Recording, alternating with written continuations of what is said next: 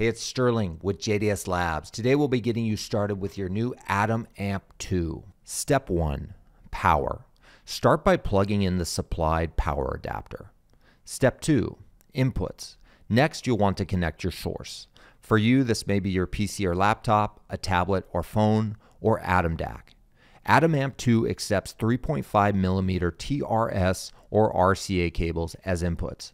Make sure your source input has adequate voltage for the listening level you require. Some phone dongles and lower end sound cards won't make the cut. For more, check out the resources in the description below. In my case, I'm using Atom DAC 2, which ensures the appropriate voltage. I connect my iPad to the DAC and then connect our JDS Labs stack cables from the outputs on the DAC to the inputs on Atom Amp 2.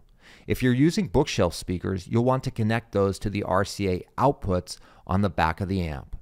Step 3 Headphones. Now I'll plug in my headphones. Atom Amp 2 supports your typical quarter inch connector and 4.4 millimeter for convenience.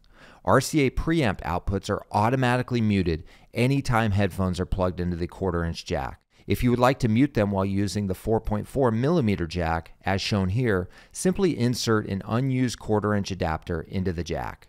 Gamers, pay close attention to the number of poles or rings on your headphone cable.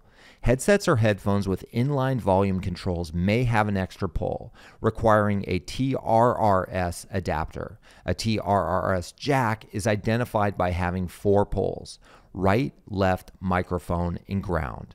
If this is you, you can bypass the mic with a single adapter like this. Or if you want to split the signal, you can use a splitter like our JDS Labs headset adapter. This is useful if you're using Atom with a PS5 or another device that accepts a mic input independently. Step 4 Operation. Power on the device by turning the volume dial. When I'm adjusting the gain or volume on the source, I'll set it at 100% and then use Atom Amp for my main volume control. As with any amplifier, use as little gain as possible to reach the desired listening levels for you. Switch to high gain only when you need more volume than low gain provides. If the volume is still not loud enough, check the voltage level of your input. If you're using the 3.5 millimeter and RCA inputs, you can switch between the two with the input button.